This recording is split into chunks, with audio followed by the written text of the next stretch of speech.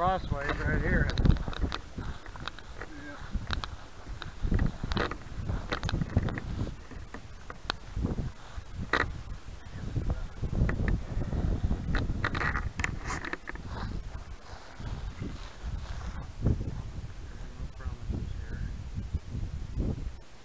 Nine minutes on my timer if I can remember to turn it on.